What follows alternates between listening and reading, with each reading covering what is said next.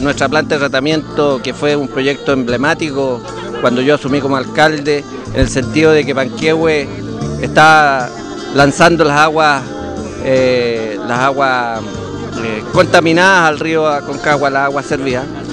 Eh, hoy día pasa a ser un modelo para muchas plantas que están en ejecución.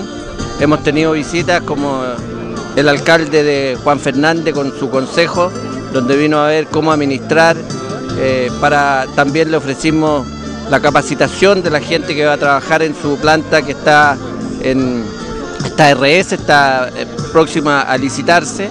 Eh, ofrecimos visitas de nuestros profesionales que tenemos trabajando porque el, el manejo tanto administrativo como en terreno está dando muy buenos resultados. También tuvimos una visita de un alcalde de la República de El Salvador con una profesional francesa que eh, pertenece a una institución que está financiando una planta de tratamiento en esta comuna del país de El Salvador.